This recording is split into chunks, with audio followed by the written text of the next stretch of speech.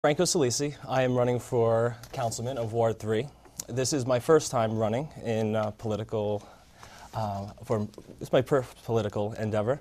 Um, I am motivated by the, by the the public sentiment that uh, the general population of Burlington has, um, has, been, has been expressing their opinions to me. I've,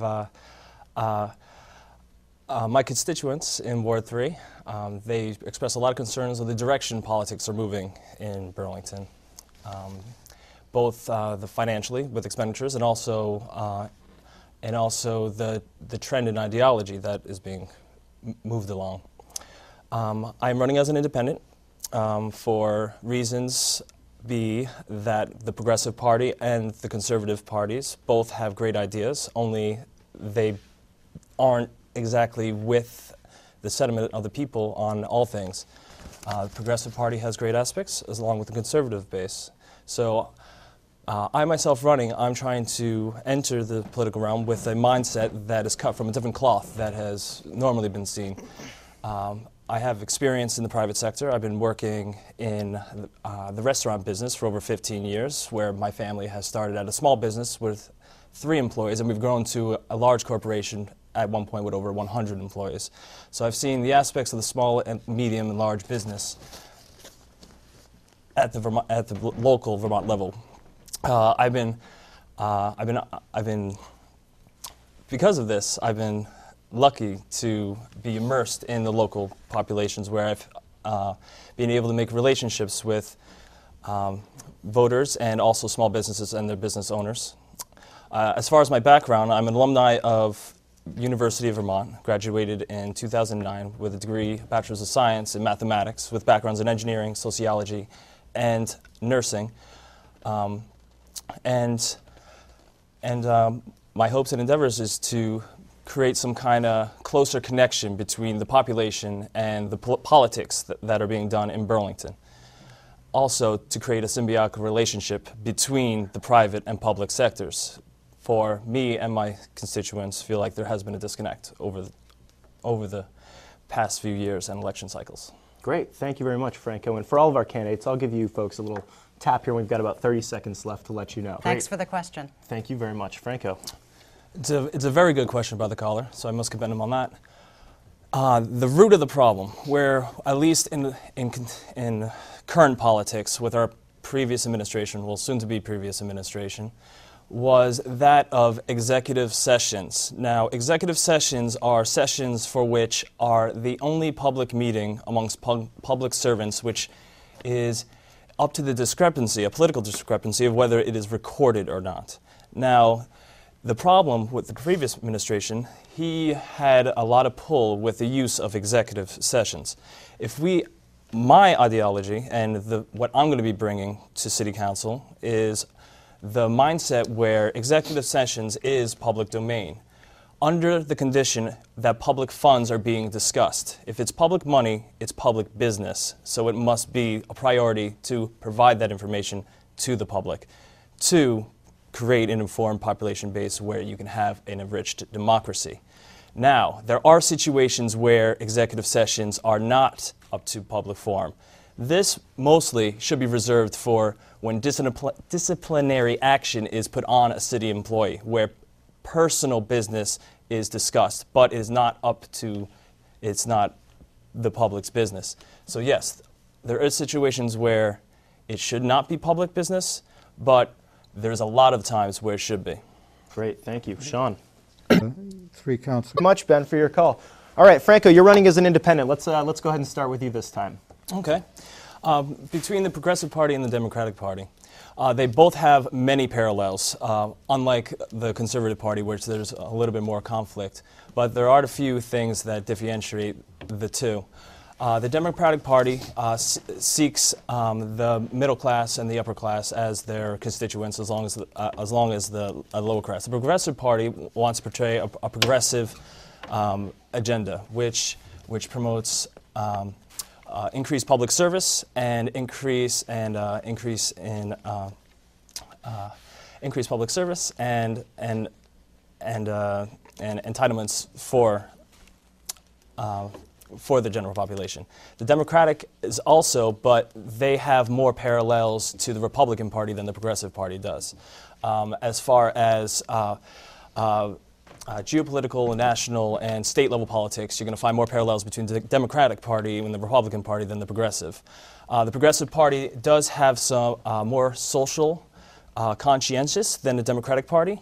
Uh, they're also a little bit more, um, I hate to say liberal, or um, uh, than the Democratic and Republican Party.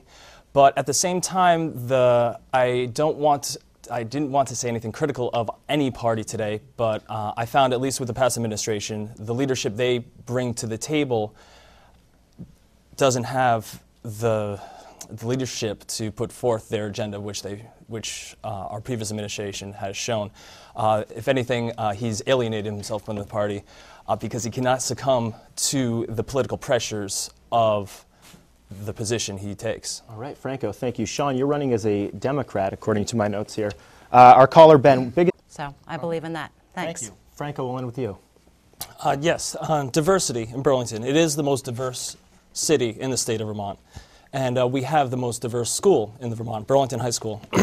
I, I, work for Burlington High School, um, and uh, in, in, partnership with Burlington High School, I work for the nonprofit uh, Shades of Ebony, which is a supplemental educational program that provides educational support for the diversity of Burlington. Uh, we have programs that, uh, that supplement refugees from Kenya, uh, um, uh, Kenya, uh, Rwanda, um, and uh, other war-torn areas, which they're relocated to Burlington, Vermont, and they run through our school systems.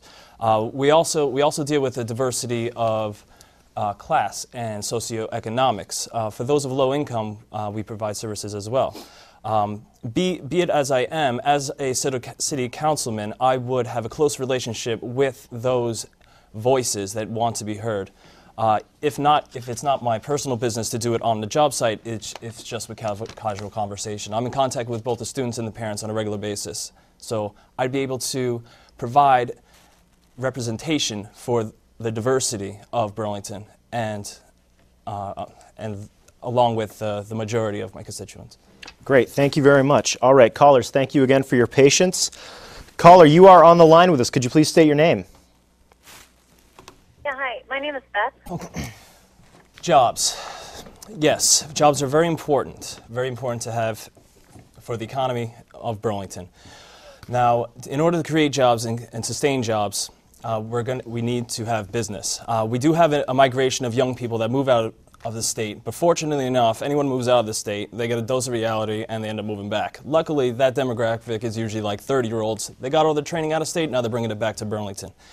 Uh, the entrepreneurship of Burlington is what uh, would condition, would, uh, is what uh, insulates us from a lot of the negative business cycles that go on with the rest of the world, rest of the country hence our low unemployment rate.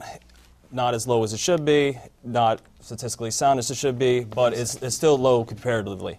Uh, my, my ideology, my, set, my mindset, and my constituents demand freedom for business creation. This means an environment that enriches and provides a rich soil for business to grow. This is low taxes and low bureaucratic process in order to get business moving.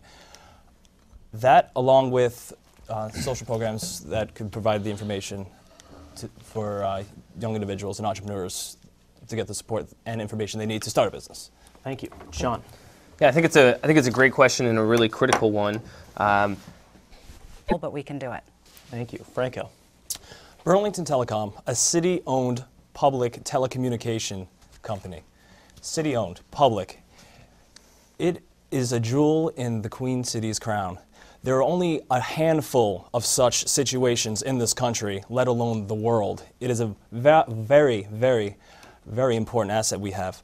Not only does it provide a check on the private sector, the telecommunication, where, which, which, we're, which we're, we're coming into an oligarchy situation with the number of people that provide internet and cable, but also it is, is under the, the standards of government restriction and, and checks and balances.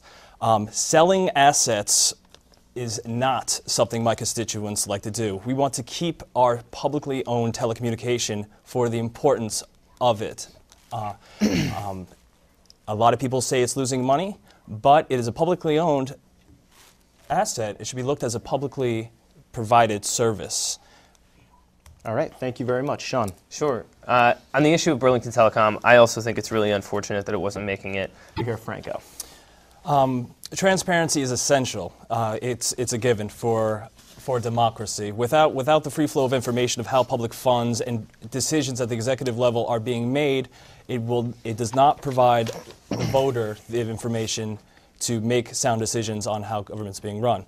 Um, it, uh, I'm going to make uh, I'm going to take a very firm stance on the exec- executive session, so they're always under the scrutiny of being recorded and documented. I'm going to make sure uh, there's an overhaul of our records, so, or I'm going to be put forth the ideas and the mindset of creating a digital, uh, digital records where all of our budgets and all of our um, uh, documentation of meetings and, and city call, uh, uh, city board met, uh, agendas are made available on the internet. Uh, there, there are uh, there is information available on the internet right now, but it's not comprehensive. Uh, one of our priorities would be to make it comprehensive, so not only they can see what politics and the numbers look like in a contemporary sense, but over a long historical sense as well. Thank you, Franco. Sean?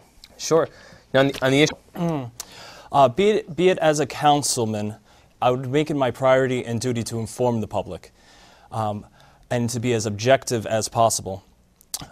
The city councilman's role uh, in regards to the city budget is to present it to the pop- population in form and to show where funds are being laid out so the voter can make a sound and informed decision and choice on whether or not to adopt a budget or not. The school board has the power to amend and create budgets, and only the voter has the power to support and accept it. Now, to entertain the notion, as a, as a voter myself, uh, looking, at, looking at this uh, 10.88% increase, which does have some uh, makeup uh, uh, uh, ends that we had to do, be it the federal cuts and whatnot. But there has to be a relationship between the public and private sector. Uh, be, it, be, it, be it I a property owner and a city employee uh, for the school district, I received a 3% raise this year. Um, uh, a, a raise in that magnitude would be more palpable than one of double digits. Even though we're making up for lost funds, we need to weather the storm with budget adjustments, and we need to tighten when we tighten, not to lose that relationship between the public and private sector. Great, thank you very much. And we are coming up, we've only got a Franco. Thank you for having me, uh, and I appreciate getting the coverage I, you're providing right here, and I'd like to get out to my constituents as well. Thank you for supporting me so far. Um, I feel I feel like I'll be an asset to Burlington and a, a straightforward, a tireless voice for the Burlington people, especially that of Ward 3. Uh, I'm, I'm looking to take a serious look at the problems at hand and to correct them regardless of the political pressures that are put on. I, I'm going to take a very firm, firm position against the transparency in Burlington, also the creation of an environment that can create jobs and create business and, and, and remove all the stifling effects that run, ag- run against the stream as far as the economy. Um, I'm going to take a firm position on the uprising homelessness, homelessness problem. Um, the uh, funding shortfalls for COTS and other social programs we're seeing is going to be looked at, and we're also going to look at cuts in areas that aren't as necessary and as immediately that should be immediately prioritized that are being prioritized today. So I hope vote for me, I, Franco Salese, Ward Three, and uh, we can start making things move in a better direction. All right, thank you. Sean?